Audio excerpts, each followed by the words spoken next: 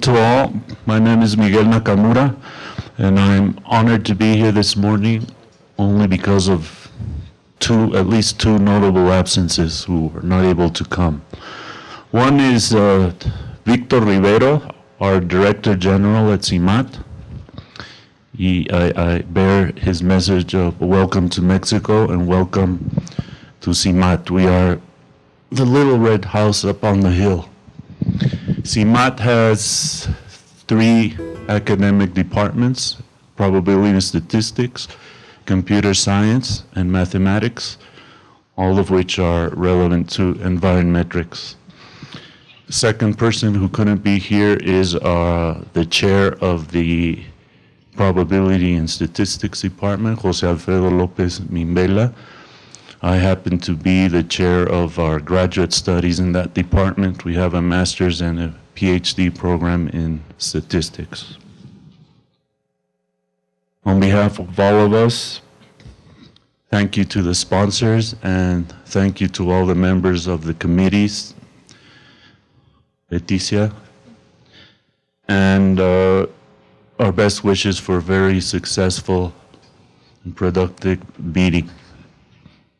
Welcome. Thank you.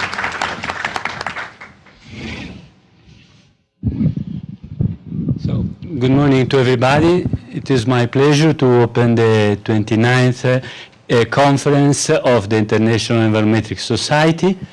And uh, thank you for coming. And uh, thank you for vitalizing the conference with your scientific uh, and uh, social contribution.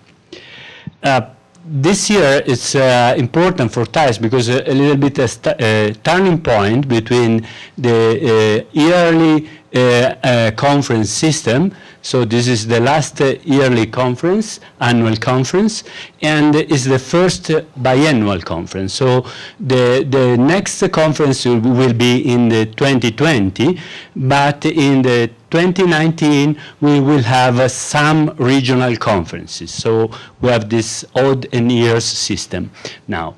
Uh, so um, many of you know very well Environmetric Society.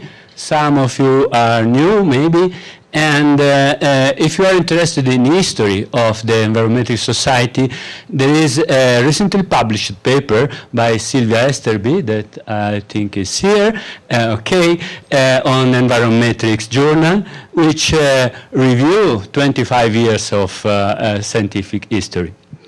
Thank you, Sylvia, for writing this interesting paper about our history. Um, the scientific program, program is very interesting, and I wish to thank uh, Julia, the chair of the scientific committee, for setting up such a high-level scientific contribution and uh, inviting many of you to come here. Uh, great appreciation for uh, Leticia Ramirez and all the local committee for the warm hospitality here and uh, the beautiful venue and also, of course, uh, thanks to CIMAT because it's a beautiful place and very nice to be here with you.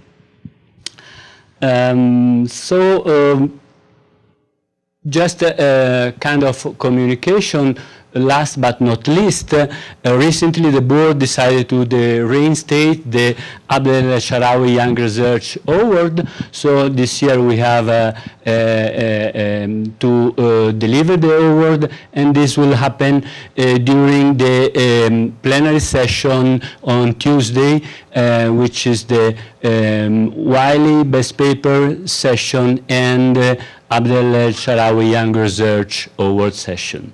So this will happen tomorrow morning. So thank you to everybody.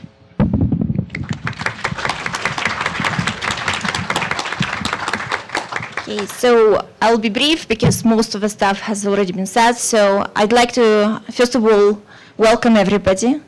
Um, it's great uh, to see many old friends and it's exciting to meet new friends uh, coming to TIES. Uh, TIES is um, a thriving community and this uh, TIES meeting we try to make uh, very interdisciplinary. So at least we tried our best to make it interdisciplinary and make more connections across different domains. Environmental sciences, CS, data science, and so on. Um, I would like to thank uh, program committee members who were um, whose help is uh, very hard to overestimate and being all those sessions. And um, I hope that you would enjoy the conference. Thank you.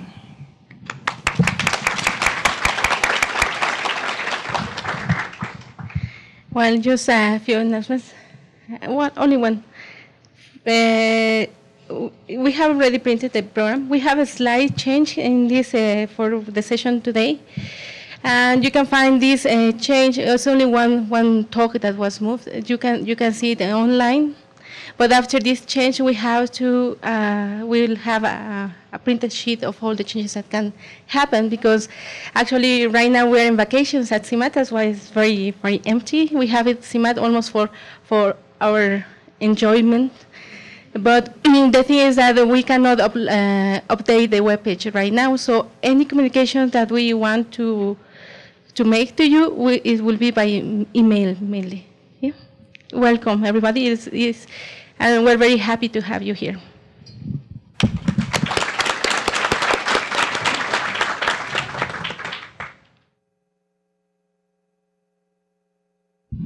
So this is my second pleasure today, uh, after the opening, to invite uh, uh, Doug to give uh, uh, the presidential address to this conference.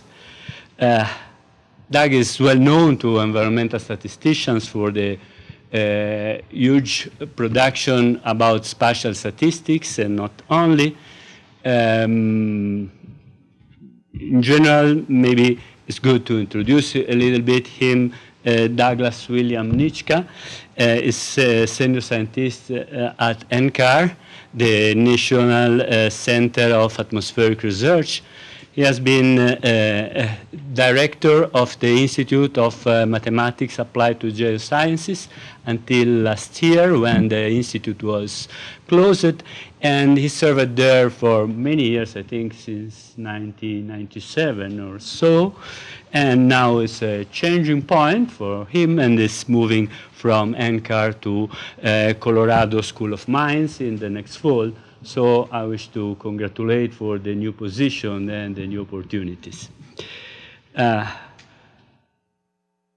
as mentioned, it's well known. He got his PhD in statistics in, in Wisconsin, Madison, after a summa cum laude in Duke University, and uh, has been editor of Spatial Statistics, and he has been awarded by the Fellowship of the Institute of Mathematical Statistics. His research is about uh, non-parametrics regression and spatial statistics, uh, and uh, his talk that is going to give is about uh, uh, non-stationary spatial data. So uh, um, we will see uh, interesting things about flexible modeling of large data sets. Yesterday we had a course on uh, deep mining and issues related to big data and environmental uh, problems, uh, which was held by Nathaniel uh, uh, Newlands. Thank you for, for giving this interesting course. And uh, now we go on with uh, state-of-the-art problems for environmetrics. Thank you, Dan.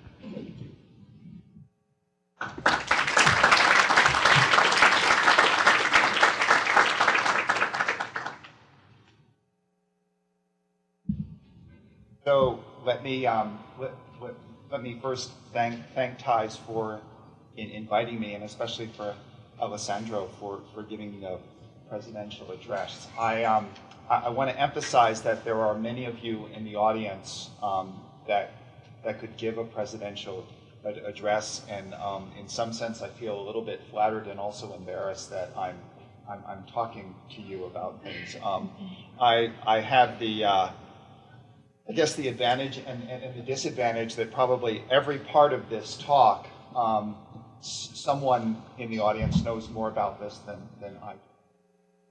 So, you know, that's, Um, so part part of the time here is I'm going to try to finish in a very uh, in, in in in a fair, fairly short sh- short span, and then we'll have more time for questions and and comments. All right. Um, so when I was um, starting my, my, my thesis work, um, it was a it was a time where um, statisticians were, were, making the transition from just looking at kernel estimates, which were sort of locally weighted averages of data, to more sophisticated methods. In, in that case, splines and eventually Bayesian methods and geostatistics came in. Um, that's uh, I feel like this talk is a little bit going going back to that because really what I'm going to argue is we need to start thinking about doing local fits sort of based on sort of simple ideas like kernels, local windows. Um, but we do have this perspective to think about global models that these things fit into, which is very different than initially the way kernels um, took off. All right. And, okay. So, uh, wh where do I point this? Oh, okay, great, great. All right, so um, five parts to this. Um, we'll, we'll, we'll, talk about data, non-stationary Gaussian fields, um, two, two, two examples of ap applications of, of, that kind of methodology, and then finally I'm going to talk about um, doing data, data, analysis on the NCAR su supercomputers. Um, like a lot of my talks, I want to say that probably one of the biggest takeaways is if I can introduce you to these two data sets, and they're, they're a great fertile ground for testing out other stuff. Um, and uh, the, the other thing that I, I want to em emphasize up front is um, in, in giving this address, I decided just to talk about lots of stuff that I was interested in. And um, I've, I've borrowed quite, quite a bit, especially quite a bit from um, and, and Michael's paper on Argo, Argo modeling. And um, is here, and I hope in the questions and answers he'll, he'll also come in and, and um, talk about this. Um, on, the, uh, uh, on the other side, on the um, climate modeling side, I want to sort of highlight Ashton and Mitchell and, and Dorit, um, who, who helped me with the uh, with, with, modeling that, that climate data. All right, so um, the, uh, the, the first part of this talk is, is just going to go through these, the, these data sets. And, um, okay, and I think that, um, you know, I've, I've been at many conferences and uh, occasionally a speaker will start and say, that's the wrong talk. That's my older talk. And I and I've always wondered what what are these goofballs that they that they that they can't get their, their talk straight. And um, now I understand how easy that is to do. All right. So um, what what I want to talk to talk about first is the uh, and that, that wasn't a planned joke, but I guess it's a joke. Um, it's, uh, I, I want to talk, talk about the, this climate, climate model data set, and then, then I'll talk about the, the Argo floats. Okay, so um, the uh, climate models are large nu numerical codes. They're expensive to run. Um, they have the, the property that you can create actually um, replicates of your, of your model runs to get an idea of what the variability is of, of the response. And th this particular data set is fairly unique in that there's um, 30, now, now 40, 40 members of, of, this run. So we can think of these as um, uh, doing a climate model run for the future, trying to figure out what the climate is, there's variability among these 30 different members, and that variability can be interpreted simply as the uncertainty in the Earth system's response um, over, over time. So these are chaotic systems. There's some um, var variability in, in what we predict. So the, the, um, the variability among these members is um, quite important. Um, it's a fairly large spatial data set as, as these things go. Um, about uh, 55,000 lo- locations, a, a long sim- simulation period. And I, I, I put this up here ju- just to remind me to say that this is based on a particular future scenario. And um, part, part, part of the challenge is to understand how these models respond un- under different scenarios of human activities in the future. Um, this 8.5 is a situation where um, green, gr- greenhouse gases are in in increasing pretty much business as, as usual, that there's not um, uh, a lot of reductions in them. Okay. Um, this is what the, the, the, the particular model response is. So these, these climate models produce lots of data, lots of fields, um, often three-dimensional fields. Um, it's important for you to realize that I'm going to be talking about a, a very small slice of this, and um, it's, it's a little bit of a confusing slice too, in that it's been um, pre-processed beyond just the original fields. So um, what we have here is, is not a temperature field from, from the models. It's actually showing us the response of local temperatures to a change in, in global temperature. So we, um, we, we run these models, um, these 30-member ensembles, we take the mean. The interpretation here is that these, these red pixels are colored about at um, 2.5 degrees. Um, this, this means that a, a global change of one degree will result in a 2.5 degree change in this local area. Now, what's, what's really nice about this kind of summary is someone with an impacts model, with, with a crop model, doesn't need to run an entire climate system model to determine local effects. If they have an idea of how global temperatures will change, they can then use this kind of um, use this kind of surface to, um, to infer what will happen locally here. And, and what, what you can see is no surprise. Um, over, over the land, we see larger increases due to changes in global temperature. Over the ocean, less so. Okay. So um, this is the spatial data problem. And um, part of the reason I like this problem is that it involves replicates of a spatial field. Since these are from climate model ensembles, we know that these really are independent replicates of the field. Um, there are also um, fields that people actually care about, so it's always good to look at data where people are interested in the, in the analysis. And um, not only that, there's a lot of non-stationary structure and it just jumps out at you. And I'll, later in the talk, I'll show you some pictures of this, and um, it, it really is apparent. So what we have here is, th- this is the, the mean response, um, the, these responses to um, changes in global temperature. What I did was I subtracted off the mean from each of the separate model runs, and here, here is the variability in these fields across, across the first eight.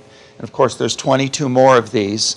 Um, the, the goal, very simply, is that we would like to create a spatial model that represents the, the distribution of, of the variation among these. Notice that there's spatial coherence here, so we have to use spatial statistics to, to, to do it. Um, we, we'd like to have a model where we can very efficiently simulate from this distribution. So um, for an impacts person, instead of being um, restricted to the 30 climate model runs, we could actually simulate, say, 1,000, 5,000 replicates of this so they could sort of explore more extremes in, in the fields.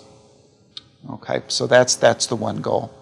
Okay, so um, th- this is where I'm borrowing um, a lot of the project from Mikael and, and, and Michael.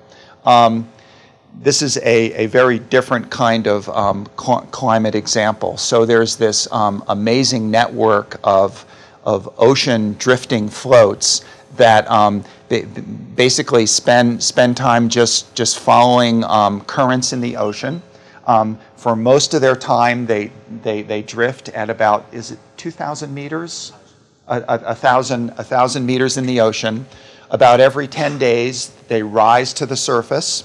As they rise, they create, um, collect a profile of observations of the ocean, and then when they when they get to the surface, they actually transmit that that Im- information to a satellite, and then this is collected in a common re- repository.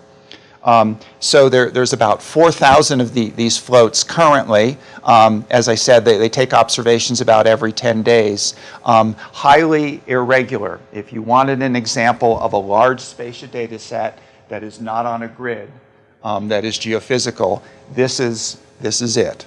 Um, so Michael, Michael and, and, and Mikael have, have worked on this data. Um, the, the, the goal here is, is quite simple. We'd like to take this irregular data and create monthly fields over, um, over the different time periods and also over space. And um, with those estimates, attach uncertainty to them. So the usual kind of spatial problem. All right. I'm trying to. Okay. So, a little bit about non-stationary Gaussian processes. Um, the main, the main object here is I, I'm going to assume that the, the mean has been taken out of this stochastic um, process, f of s. s. S would be locations here, either longitude and latitude or longitude, latitude and, and depth. Um, we have a, a a covariance function um, for, for these.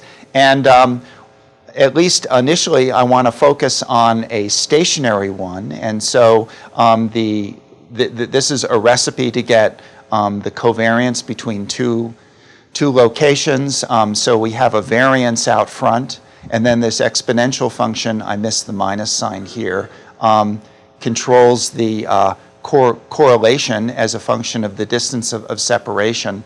Um, this is a, a, a completely isotropic example, and what it says is that the correlation between two points in the field um, only depends on their distance of, of, of separation. And um, th- this is a very strong assumption. In, in, in the case of, of both of these um, examples of data, it, it, it really doesn't hold. Um, if, if you think about trying to correlate um, those fields um, where one point is in the ocean, one point is over, over, over the land, we expect a different relationship than if both of those are over the ocean or both over the land. Okay. Um, uh, be, besides that exponential function, a, a common, a common um, form, form that's used is, is the Matern. And I'm, I'm just going to sort of write it out as Matern so you can see it in the formulas. Um, but it's, uh, it's, its, its actual form is as, as a Bessel function. Um, there's a smoothness uh, uh, associated with this, and um, a smoothness of of 0.5 is a, is a nice reference point because we end up getting the exponential back. Um, but there's a, there's a whole range of, of smoothnesses um, that, that we can choose here. In the, um, in, in the first example, looking at the climate model output, I'm just using a, a, a smoothness of 1. Okay, so um, th- this is getting into the, um, into the, the non-stationary as, aspects of this. And um, this slide may look a little bit different than the others. I was sort of just marching through the usual kind of geostatistics, um, co- co- covariance functions. Um, the way I like to think about non-stationary fields is um, rather than talking about the covariance, I like to represent the process. And so th- this is a, a recipe to tell you how to get this correlated field over space. And what you do is you take an integral. Um, you have this kernel, which we're going to assume that we know, and we're going to integrate this against white noise. Um, if, if this makes you nervous because it's bringing back memories of sigma algebras and um, measure theory, um, what, what you can think about is just, just take a really fine grid over, over space, um, generate independent normal zero ones, and just sum this up. Take, take the kernel, take a discrete sum, and you're, and you're done. Um, but in, in any case, um, th- this is a process. And what I want to emphasize here is we can make up all kinds of stories about age, um, and, as, and as long as they're not too crazy, we will get a process that we can simulate and, and describe. That's very different than starting with a covariance and trying to make modifications of it and hope that it still stays as a valid covariance function, i.e. that it's, that it's po- po- positive definite. And I want to say that one, one of the early um, gr- groups that, that really sort of, um, sort of realized this and, and has championed it is, is um, Håvard's group and, and sort of connected with, with INLA. So it's a, uh, it's a, it's a very, very nice idea. And with this particular representation, we can just write down, at least in, in some kind of formula, what the implied covariance function is. So there, there it is there. If we come up with a particular h, we always know what the covariance function is. All right. Okay, so here's, um, here's an example of that. So I'm, uh, I'm going back to the, to, to the exponential. Um, looks like I got my minus signs in now. So um, this theta is a, is a scale parameter. It, it controls how the correlation between two points dies off over, over space. Um, the, uh, the, the sigma of s here is just the changing variance of the process. And it turns out that um, that's pretty easy to handle when you're, when, when you're doing, doing statistics of this kind. Um, the theta of s is, is much more difficult. Okay, so here's, here's my kernel. Um, that, that implies a certain process that we can simulate and talk about. Here is the uh, covariance function for it. And um, I, I, guess what I want to emphasize here is that notice that these two locations, we're getting um, functions that, that depend on, on those two locations, and then we have an integral um, that also depends on, on those two locations. So it's a, it's a pretty complicated object here. Um, the interesting thing about this is that even though we're choosing an exponential for a kernel, if we uh, create this model in two dimensions, we actually get a something close to a Matern with a smoothness of, of 1.0. So there's a there's a little bit of a difference between these averaging kernels that we choose and the resulting smoothness of the process. And if you're comfortable thinking about integrals and convolutions and Green's functions, this, this all sort of is, makes sense. Um, so th this result holds when our scale parameter is just constant. And so that would be just assuming we have a stationary um, correlation function. If theta is unequal, which is the interesting case here, and I should say the most appropriate for these data examples, um, it's difficult to get a closed form expression for this even though um, we may think this is a good idea. So um, part, part of what this talk is about is to how to finesse the fact that we can't really do, do this integral. And um, you'll, you'll see how I'm going to be cheat, cheating with that. Okay, so um, what I'm going to go on here, I'm going to wrap up this, this, non-stationary part by showing you um, some, uh, well, let's see, wait, wait a second here. Sorry, this is a little bit um, touchy in terms of advancing things here. Okay, so um,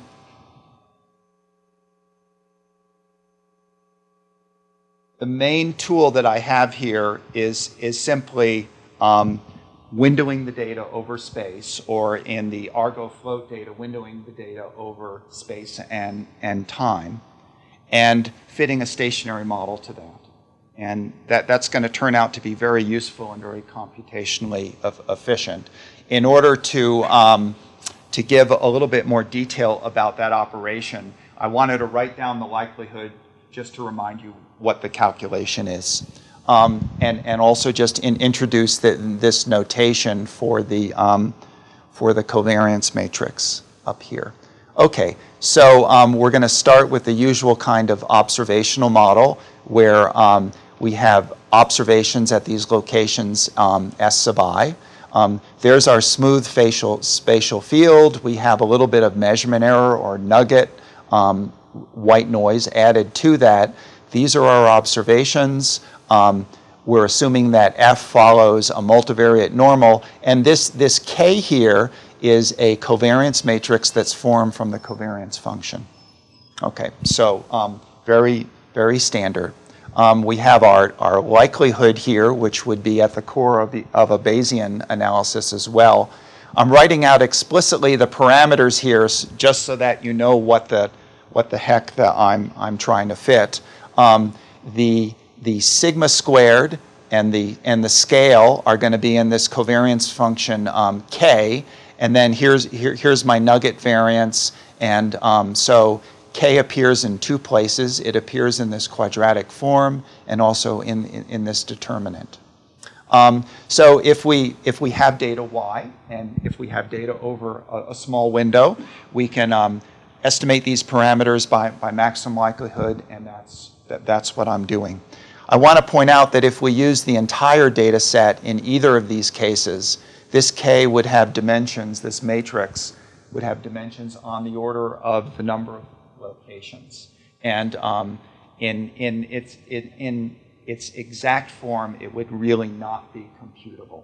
Um, occasionally, I'll give a talk where some um, linear, linear algebra um, sort of macho guy comes in and says, oh, I can, I can factor, you know, a matrix that's 50,000 by, by 50,000. And, and so then, you know, I, I say, well, I can always find a bigger data set than that. Um, the, the other thing is that I often can, can spin that to say, well, yeah, you, you can do it, but it's going to take five hours. Um, you know, really, th- this is about looking at data and getting results back quickly. You know, I, I'd like the results back in five minutes rather than rather than waiting for things. So there's um, so it there there's al- always ways of, of getting getting around those um, linear algebra guys. Um, and I'm trying to. Okay, okay. So, gosh, this is. Um, I think this. Okay. Okay. Um, last part. So la- last part of this th- this non-stationarity and um, and sort of doing do, doing the computations and um, really at this point I'm setting up the the, the, the structure of the talk. Um, I want to tell you about how to simulate a Gaussian process that would be from the first data example, and how to simulate a conditional Gaussian process, and that would be for the second date for the second example for the Argo floats. Um, they have very sort of very similar structure. They both involve a, a square root of, a- of a matrix. Um, so uh, again, we'll, we'll go back to this co- covariance matrix that we form from the covariance function. And um, if we find the square root of, of this covariance function, multiply it by IID normals, that is a, a realization of the Gaussian field um, at these, at these lo- locations. Now, now, let me remind you that the reason we want to do this in the first case is we have 30 model runs, and we would like to simulate fields that look like the model runs but are, are cheap. And so, assuming that this is a cheap con- computation here compared to running a climate model, we can actually do that. Conditional simulation is a little bit more complicated. Here we have data at particular locations, so these would be the Argo float measurements. We would like to simulate the field at a, a fine grid. Um, in this case, um, Mikael and, and Michael use a, a one degree grid. And so we have um, several other, uh, so we have several different covariance matrices here. The um, covariance matrix of the uh, of just the observations, covariance matrix of the grid, the cross covariance matrix between the grid and the observations. Um, and, and I should say th- these are all pretty big. These are all big matrices for large data. Um, the way we do the simulation, though, at the heart of this, there is a square root of a matrix. In this case, it's the conditional covariance matrix. Um, but we, we find that square root, multiply it by IID norm, normal zero ones. Um, we add our conditional mean to that, and that is a realization of the field that is, that is conditional on the observed data, um, but is, is, is a representation of the um, stochastic process off, off of the data. And so this is a, a very, very useful thing to do. And for large data sets, it's, um, it's a very efficient way to represent the uncertainty. And there's um, sort of two, two, two reasons for that. One, one reason is that the analytic com- computation just to find prediction standard errors is, um, is quite costly. The other is that um, there's sort of this emerging um, education among the geophysics community that these ensembles are, are nice ways to view the entire variability in the field.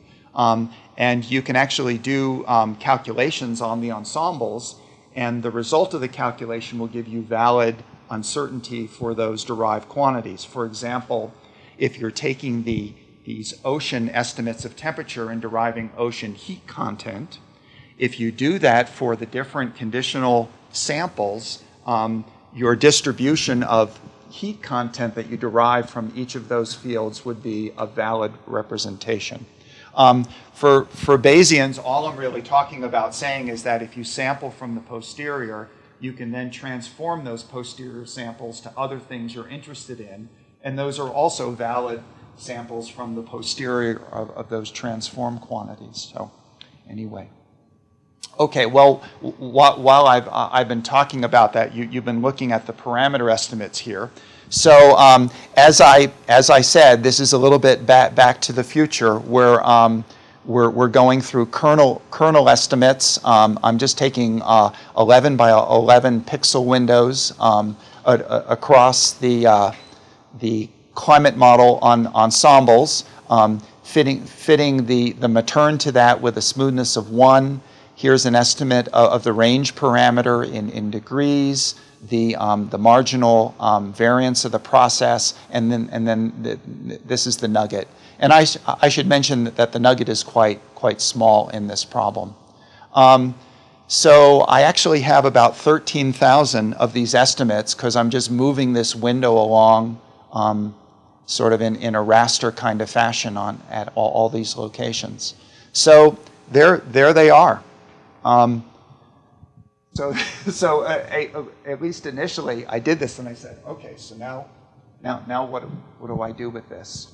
Um, if we, if we actually want to follow through this route of being able to use these estimates now, which are really a field, because um, we have each of these parameters at all the different grid grid boxes. Um, we would like to simulate a, a non-stationary field based on those. Um, if we form the, the we're able to form a covariance matrix for these, um, we simply find the square root and, and do this operation. And of course, the, the problem here is that the, this is too big to do.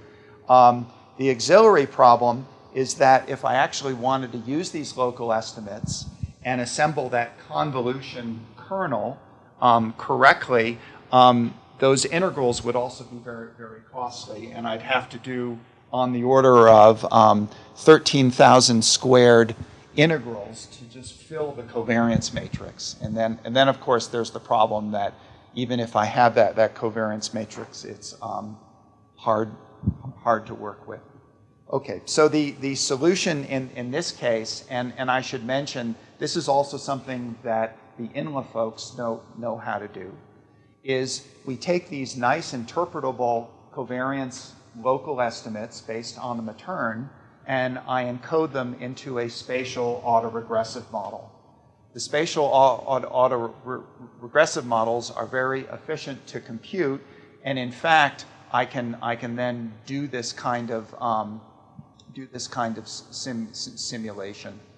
Um, so, um, and in this case, um, as I said, you're looking at, at a slightly um, uh, um, draft version of the talk, and, and we can see that um, this, uh, this is not quite true. We're actually working with the precision matrix of the covariance now, and um, we're actually working with a sparse Cholesky decomposition of, of the precision matrix.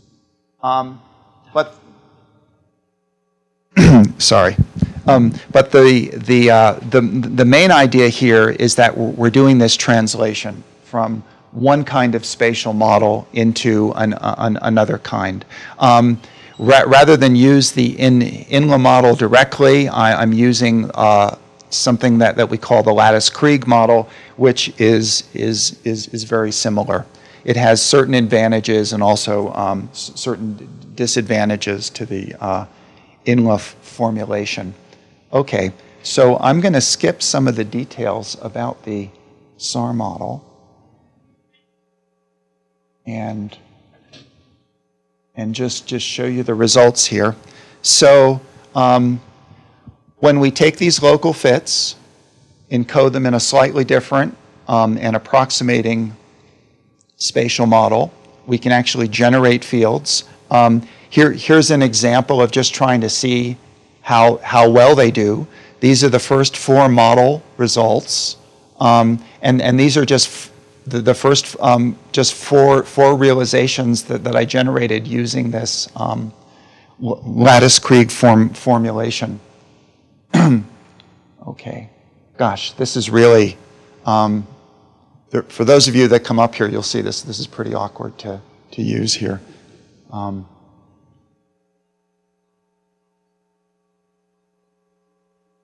okay. Um, I want to say that these, these simulations take on the order of about half a minute on, on my laptop. Um, obviously, these, these model simulations, um, each of these would, would take um, probably on the order of weeks of supercomputer time. So, quite a bit of difference. Okay. All right. So, so what I want to do now is um, switch to the open, to, to, to the ocean, ocean temperatures. And, um, gosh, come on. Okay. So, in, in, in parallel to what we did before, um, we're, we're, we're fitting local windows of the Matern. In, in this case, they're 20 by 20 degree grid boxes, and this is also a temporal data set. So, so th- this is windowed over a, a month of, of time. Um, this is this is done at, at a particular depth, and I'm just going to show you results for a, a, a particular depth. And um, I guess a question I had for, for, for Mi- Mikael after my talk is um, if you have plans to go um, connect the depths as, as, as well. Um, but um, re- remember, here's the, here's the drill to do con- conditional simulation. Um, we have to find the square root of this matrix, um, which is the conditional covariance matrix. The interpretation is that this is representing the distribution of the grid points of the field, the, the field at the grid points, given the observed data. Okay, so again, if we just put this into the entire spatial domain, um, this is too big to work with di- directly. Okay, so the solution here, and it's a it's a different solution, and at first it seems sort of weird and maybe maybe simple, but it, it's amazing that it it, it, it works. Um, so what we do is we simply um, we take this matrix and instead of evaluating it over the whole spatial domain and over all the grid points, we only ev- ev- evaluate it over a um, the, the number of, of, of grid points that, that, that contain a, um, a, a certain number of, of data points. So we, um, we only evaluate part of that matrix, and we do it in a way where it contains um, just, just some of the, the, the nearest neighbors of, of, of the data. So I'll, I'll, I'll, I'll go ahead and, and just um, lead you through the, the details of this. For each, each grid location, and we can actually have many grid, grid boxes here to evaluate this, um, we create this little local conditional covariance. We find the symmetric square root of that, and um, the symmetric square root I think is important. It's important to do this the symmetric and, and not just the Cholesky. Um, we go into this matrix and we find, I'm calling it the center row, but it's really the row of the matrix that corresponds to this central grid location. And so that's a single row. We can call that row a set of weights, and we apply that set of weights to, um, to a set of white noise values o- on this grid that, um, that, that match that, that set of weight locations. And so these, these weights are not going to include all of these um, white noise de- deviates. They're only going to include sort of a, a little neighborhood around the, the grid point that we want. Okay, so we, we apply those weights, we get a field value, and um, here, here's the weird thing is that um, everything else we just throw, throw away. We've done this um, decomposition of, of a matrix, and we're only interested in, in that middle row. Um, the reason is that um, we want to do this conditional simulation locally, and while all these other points help in getting sort of a, a, a stable matrix, they're not really particular to the local covariance parameters that we estimated at, at that grid point. Okay, so we, we loop over all the grid points following this. And what makes all this work is that whenever we need the, the white noise values on the field to apply the weights to, we're always going back to the same realization. So we're always re- reusing tho- those same random values. We loop through all the grid points and we get a nice field that is coherent. Um, the, the way you can think about this, this, this mentally is essentially we're computing a discretized kernel um, that, that represents the conditional covariance function. And we're simply running, running that, thank you, we're, we're just sort of running that across, across the white noise field. Okay, this is an embarrassingly parallel computation, and that's a bit of a, a segue into the last part of this talk. Okay, so um, here's a here's a preliminary result. M- Mikael, we're working on this in in SAMSI in, in the fall and trying different things, ma- making sure we were thinking through this correctly. And so here here's one of his initial examples of of show, showing how it works. So um, I think this is for uh, February two, 2012, um, and it's for a, a depth of um, three, 300 meters. Here, here's what the, the conditional mean field looks like. Um, so this, this would be the best expected value, um, given, expected value given the data. Here's a draw from, from the conditional distribution. And it's done in, in this way of where we're taking um, local conditional matrices and, and up, applying it to, to the white noise field. Okay. So let me explain a little bit about, about this works. And um, what, I, what I like about this part of the project is that you can sort of just look at the Matern family and um, get some evidence in sort of a very sort of general sense how this, how, how this goes. Um, so when, when I was leading you through the algorithm, I was re- referring to these weights that we apply to the white noise normal zero ones. Now, if we looked at the entire spatial domain, we could compute those weights for all the grid points. And um, really, the point is, is are our local weights um, very similar to that global set of weights? Now, I can't do it for a really big problem, but I can do those global weights for a problem that's large enough where I feel comfortable where we've actually approximated things um, in, the, in, in sort of the uh, exact sense. And um, he, here are some results. Um, this scale is in percent root mean squared error, and I, I just want to highlight this point as an example. So if we have a, a field that has a range parameter of 35, and this is a spatial domain of 50 by 50, so it's a large correlation range relative to the, um, relative to the spatial domain, smoothness of 1, a, a nugget of, of um, 0.1 in terms of variance. Um, what we're seeing is about 2.5 um, percent error in terms of using the exact weights to do the condition simulation versus the weights only using a neighborhood of 200 observations. So 200 observations is really driving all the matrix calculations, very simple calculation to do very, very fast. Um, and so I would, I would argue that if we had a domain that had 100,000 points, if it respects this kind of scaling, um, there's, there, there's no benefit go, going to a, a larger conditional um, simulation. That sort of this local method is doing pretty well. And what's interesting about this is that for very small nugget variances, it's actually, this method is even more accurate. Um, the reason this works is something called the, the screening effect. And um, it's, a, it, it, it's sort of a very sort of natural idea when you, when you think about it. Um, you have a spatial field and you're trying to say something about a particular point.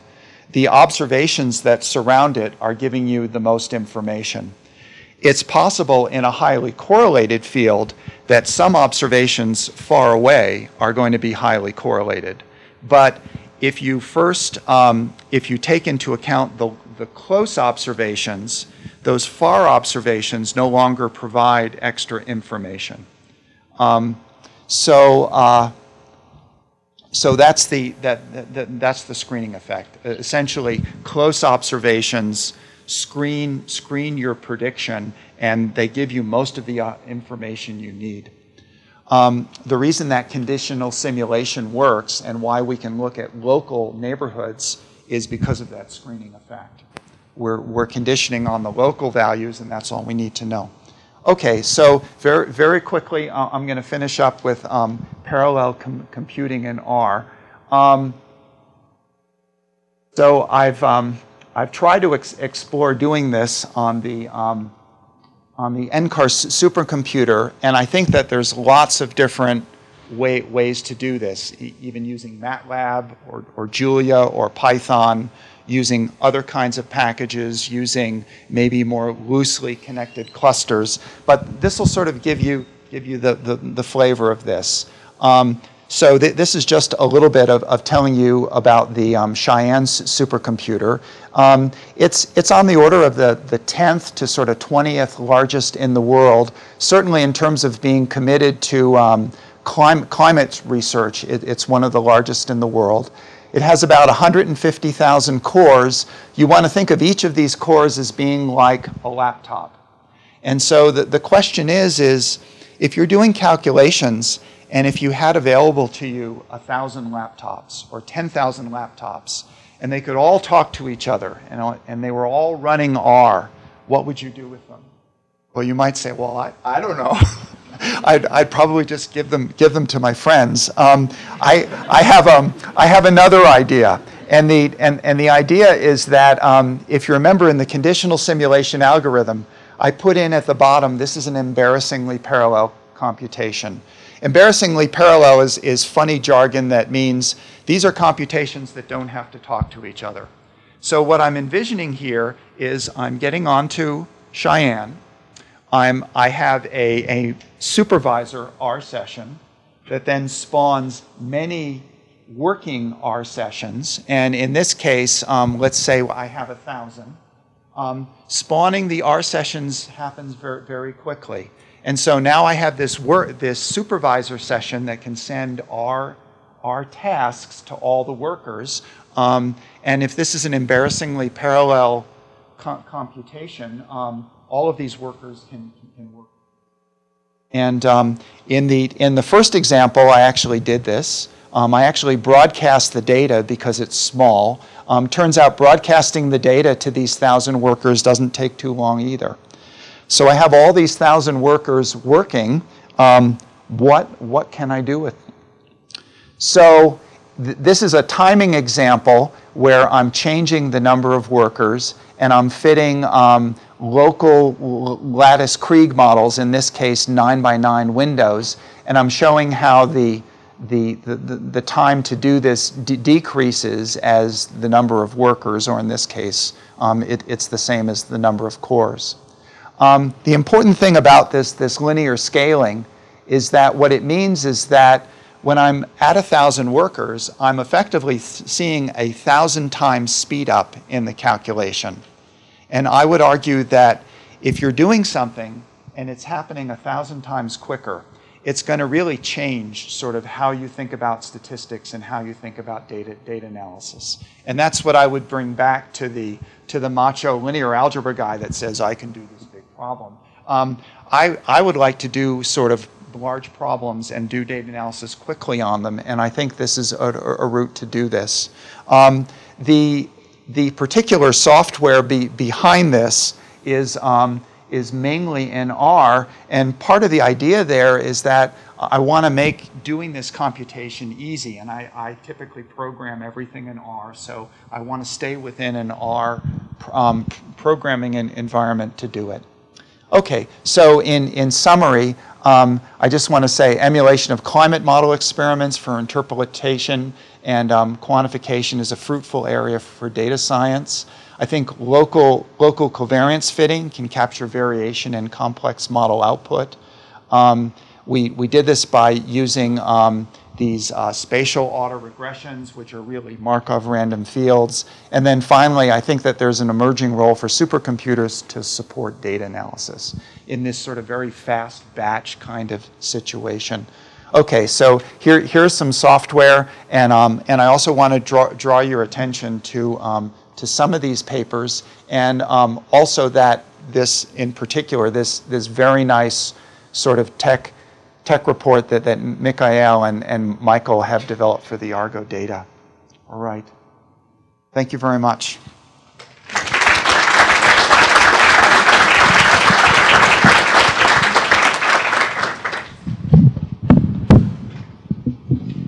So thank you, Doug, for the very interesting speech. Uh, are there any questions? We have a lot of time, so we can see. Yes.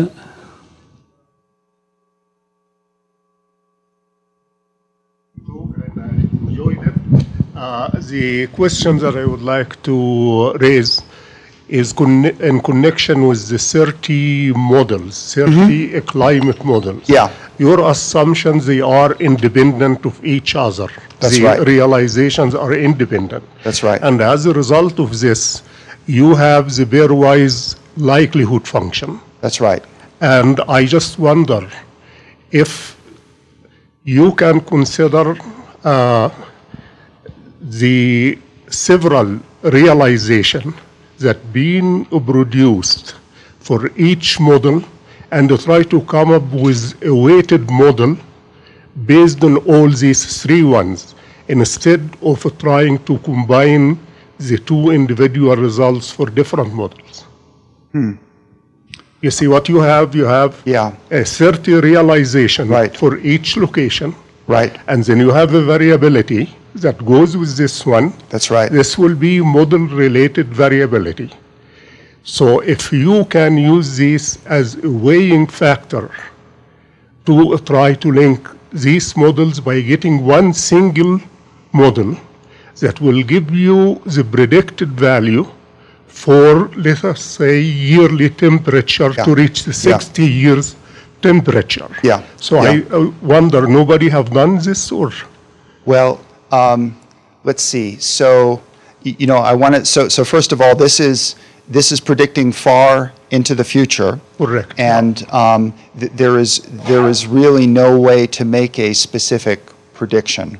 That the best we can do is say there there is a distribution um, of of climate in, in in the future, and this is our best understanding of of, of, of the distribution the variation in those models is, is representing that, that, that, distribution. And so another way to say about what I'm doing is I'm not trying to make a specific prediction, I'm just trying to represent that distribution a little bit better by this emulation and spatial statistics.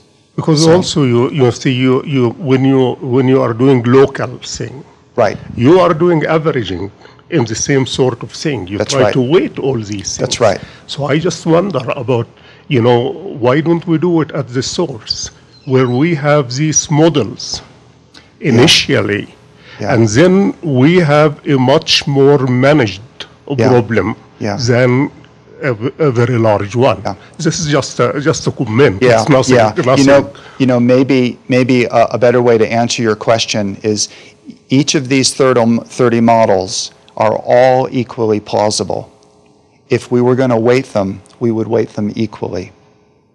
So that with, within the assumption that we think this is a good model, that it's been correctly set up in terms of initial conditions. But I think you will be able to get empirical weight by the 30 values at each location.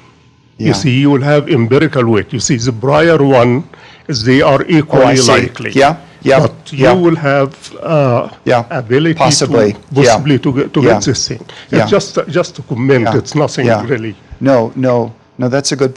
And that, that, people have, have, have studied that. Obviously, I am not doing that at all, so, okay. Yeah. Yeah, Ben? Uh, So I've, I've tried and failed to do this uh, conditional simulation locally that you've seemed to have succeeded at.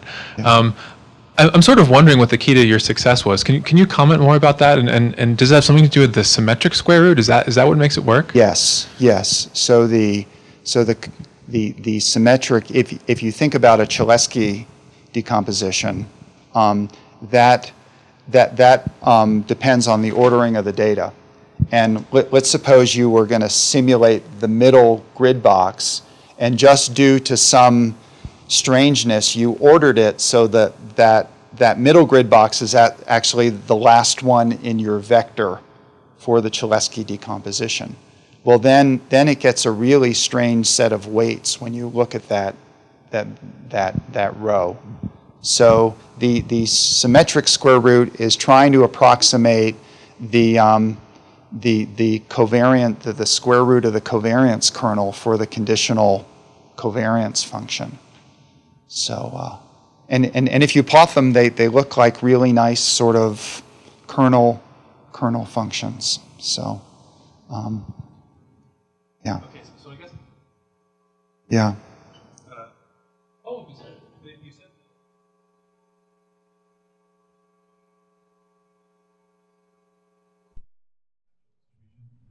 Mean it's smooth and there's no weird edge effects? Um, both, both of those.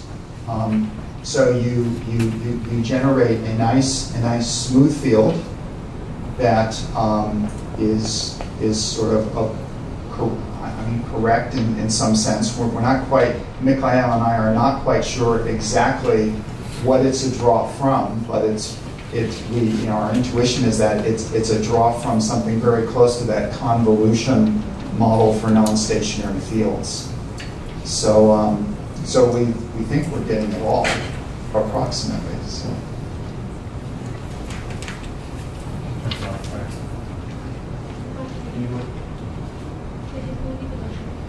Any more questions? Well, I just would like to comment on smooth Questions?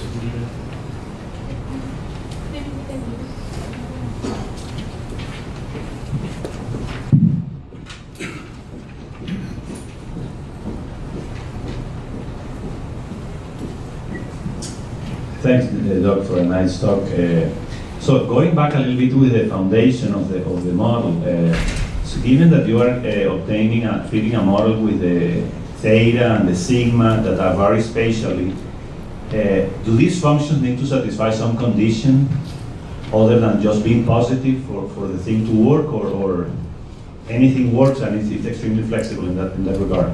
Um, It is, it, it, it is very flexible.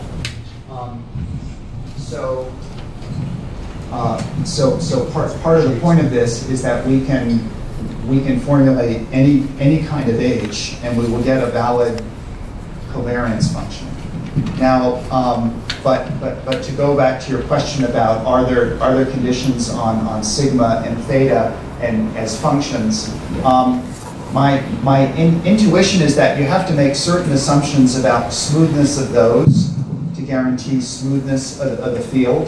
That obviously they're going, if, if you're going to pick, pick thetas that vary very discontinuously, that could, um, that, that could affect the, the properties of the, the smoothness of the field beyond, beyond the actual kernel that you pick. So, um, I, really, and, and I I really don't understand more, more about it than that. Um, since we're estimating these as, as local windowed estimates, we are, we are getting fairly smooth estimates of these. So really our prior is that we're expecting these to be smoothly, smoothly varying. So, We have time for another question. I, I just wanted one, one, one comment about the square root uh, issue that I think Yeah. is being raised. Do you do some ordering into the matrix itself to try to get this to be stable? Because the square root is known really to be not very stable. You see, the, the, the square root is, seems to be not very stable. And I just wonder what you do, because I think usually you can remove uh, rows in the matrix to try to catch up the most of the variability in the same Yeah, and to yeah. the uh, movement. yeah, okay, so, um, yeah, so um, there, there are two kinds of square roots that I typically use. One, one is a Cholesky decomposition, which is very fast, but as you said, it's also sensitive to things like um, uh, in, in instability. And, and as I was trying to describe to Ben quickly, it, um, the, since it's an upper triangular matrix, it, it, it, it, it's affected by how you order, order things. Um, I, instead, the, uh, the symmetric square root, um, since these are small local problems, I'm just using an eigenvector eigenvalue de- decomposition. That, that is much more stable if, if the matrix is, is close to being singular. And um, the, the ordering, um, it, I don't think it should be a problem. And, and you know, what I'm very careful about is that when I want the center row, when I want the center grid box, I go to the row that corresponds to that. Um, so it can, the, the ordering is, is really not, not important.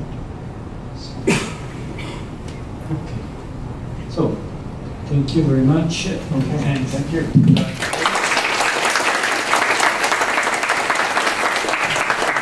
now we have something for Doug, of course, and uh, uh, so something for you here. So this is from today. This is the, the, the diploma for the President's Invited Lecture. Oh, wow.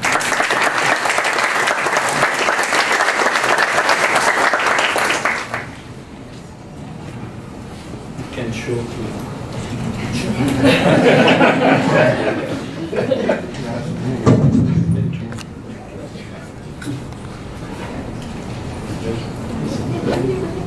Then from the, the local committee, some special food, Mexican Okay, well, this will- from Guanajuato. Okay. And uh, last but not least, the, the coffee mug from TIES, Guanajuato. Wow. wow. Wow.